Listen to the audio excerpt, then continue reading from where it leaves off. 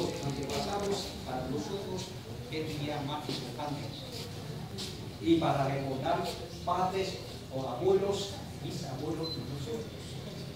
Esa forma que todos los sobrinos, los nietos, nietos, hijos de, de ellos tienen que agruparse para hablar, para recordar